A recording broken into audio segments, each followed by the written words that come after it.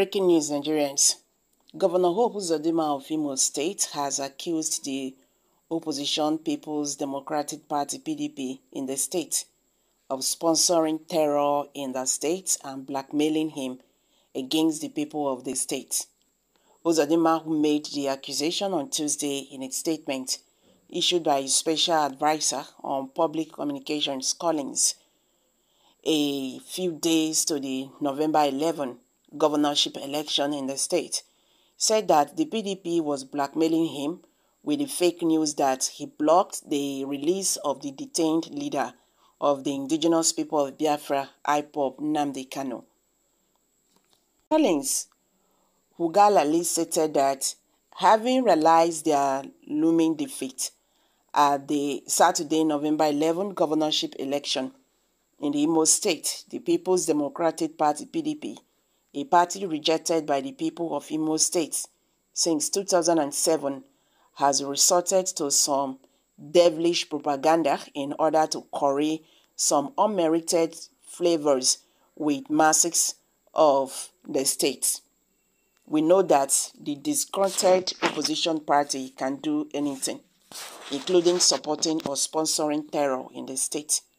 But we thought the party still had some shame but the recent desperation to blackmail Governor Hope Uzodinma with the fake story and the governor is blocking the release of Mazi Nnamdi Kanu shows that the party is capable of doing any evil without scripts.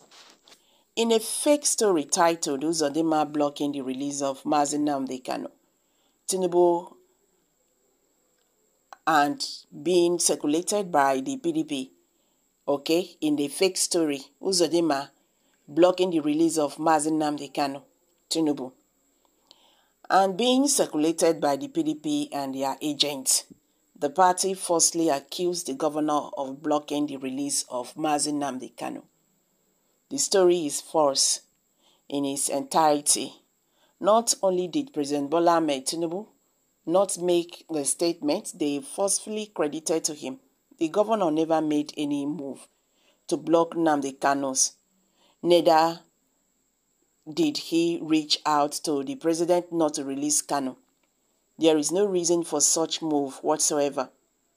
On the contrary, Governor Hope Uzodinma is championing the resolution of all the issues affecting Ndigbo in the country, particularly mobilizing Igbo leaders and stakeholders towards achieving the resolution of the issues especially the release of Mazi Kanu, perhaps unknown to the sponsors and peddlers of the fake news.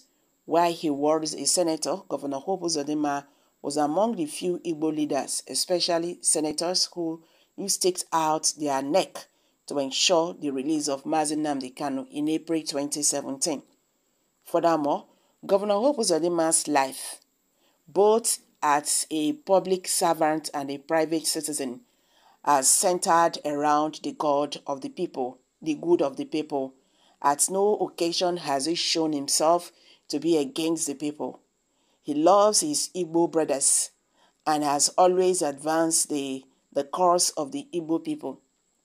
Collins stated that it is important that Igbo people all over the world and Nigerians in, in general throw away this devilish propaganda from the real enemies of Igbo people who cannot lift a finger to develop Igbo, Igbo land when they had the opportunity to do so.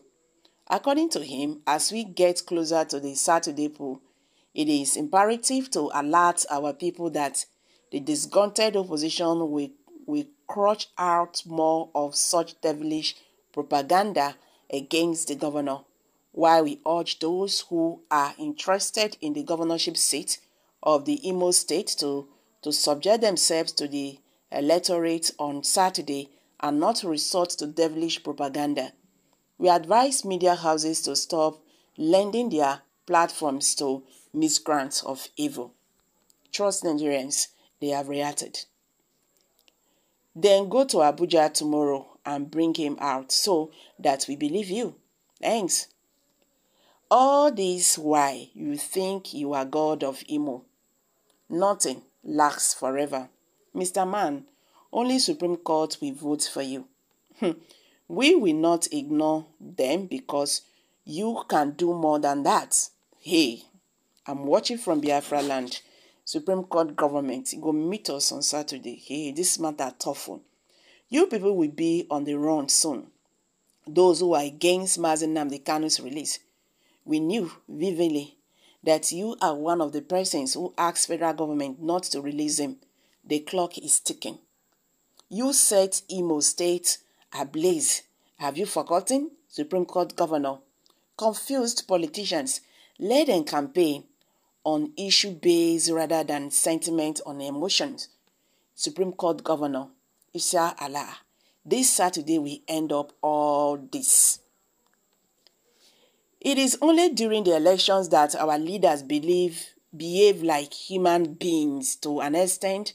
After the elections, they will turn to God. We will someday know the truth.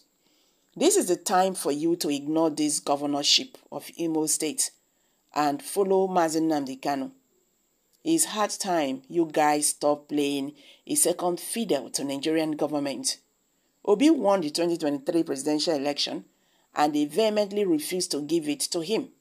The best thing now is to allow these six regions or political zones, Ariwa, Boronu, uh, the Middle Belt, Oduduwa, Niger Delta, and Biafra to go to their separate ways. This is clear evidence that IPOP is the brainchild of the PDP for political gains in Southeast. If they want to kill your political career in Southeast, they will accuse you of being against Nnamdi Kanu. Bagam. Nigerians, that means the way it is now, Governor Hope Uzodinma is in a tight corner. You don't they beg. Well, now the question is, what effort have you made since this man is in the custody? Because we know they hear you talk. Now the other way, the other way, now we they hear. Go here say IPOB go accuse you, say you be one of those people who sponsored, you know, the Mazi Nnamdi Kanu's abduction and all that. Now, the time has come. What effort have you made for this man to be released? What effort have you made for the killings in your in your region, in your state to stop? This is the time of reckoning. So guys, let's hear from you. Kindly share your thoughts below the comment section. If you're just joining us, do not forget to subscribe. Please kindly share this video. Let it go viral. Let Nigerians understand what is going on in the Nigerian political landscape. Thank you for always coming out here.